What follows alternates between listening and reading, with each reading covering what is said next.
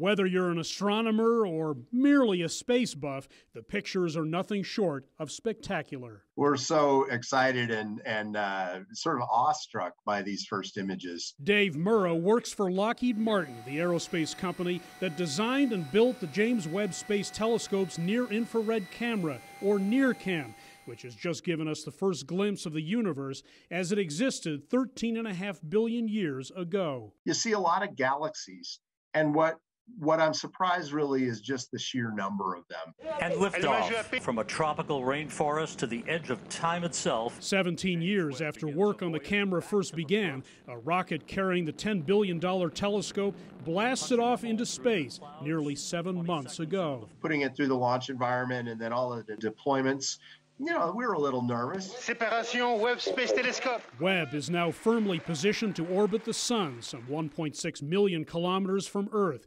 while it prepares to tackle some weighty issues. We're really looking back and trying to understand how how things became the way they are. How did the universe form and what is it made of?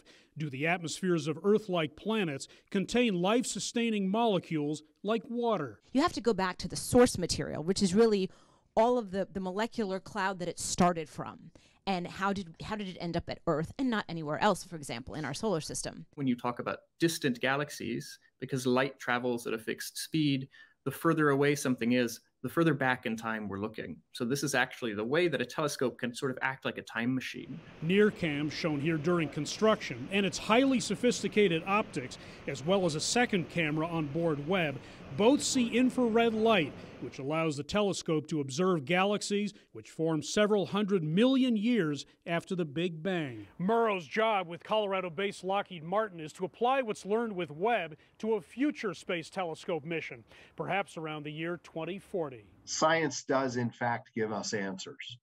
But what science really does is give us more questions. This observatory is expected to beam back razor sharp images for up to a decade, plenty of time for both. Hendrik Sybrandy, CGTN, Denver.